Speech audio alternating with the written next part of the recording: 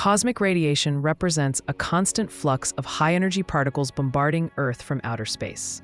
These particles, primarily protons and atomic nuclei, travel at nearly the speed of light.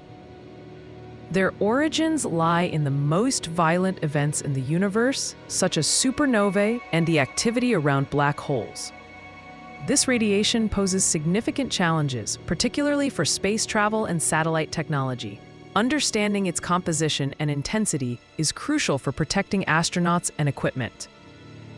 Scientists utilize sophisticated detectors on satellites and ground-based observatories to measure and analyze these elusive particles. Despite decades of research, many questions about cosmic radiation persist.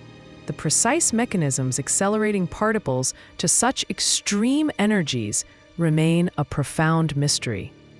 Unraveling these secrets is key to understanding fundamental physics and the dynamics of the cosmos.